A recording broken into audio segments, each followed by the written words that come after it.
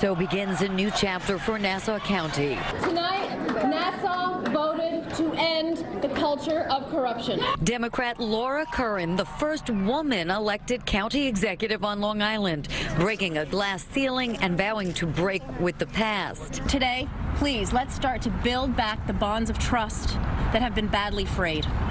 Let's start reforming our government so it starts to work for those who pay for it. Voters say the transparency Curran promised is desperately needed. Now they'll hold her to it. I think that the county spoke last night, Saying saying we need change, we want change, we want an end to corruption. Corruption has got to end in Nassau County. It's been going on way too long. her opponent, former state senator Jack Martins, also a corruption fighter, only today conceded defeat.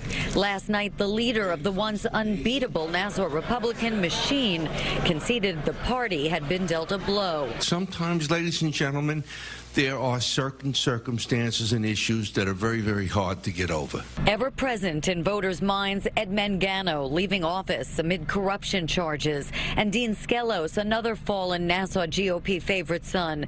What can residents now expect under Curran? She says a total overhaul of county ethics, a fix to the property assessment system with more qualified assessors, and outreach to Republican county lawmakers still in control. It will be difficult for Curran to get things done, but I think that the Republicans on the legislature saw the so-called handwriting on the wall and see that people obviously voted for change. And they can expect this election to go down as an historic shift in Nassau politics.